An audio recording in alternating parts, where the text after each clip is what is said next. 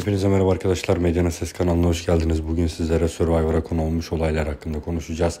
Survivor'da şu an en çok hayretle izlediğimiz olaylardan birisi potaya giren adayların belirlenirken ki önem verdikleri şeyler. Şu an Hilmi Cem yerine neden Yunus Emre yazıldı kavgası yapılıyor. Yorumlarda ve takipçilerimizden gördüğümüz en çok yorum bu.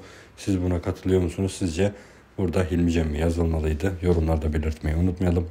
Videomuzun diğer detaylarına geçecek olursak da tabii ki daha önceki detaylarda paylaştığımız gibi yine çok zor bir eleme yapılıyor. Aslında Hilmi Cem'e bu şans verilmemiş gibi gözükse de yani ismi hiç çıkmasa da diğer potada direkt onun ismi çıkmış olduğuna da şaşırdık. Yani bu sefer de Sercan'ın yazılmadığını gördük. Gerçekten farklı bir sistem uygulanıyor diyebiliriz. Süreci takip edeceğiz. Kaçırmamak için abone olmayı unutmayın.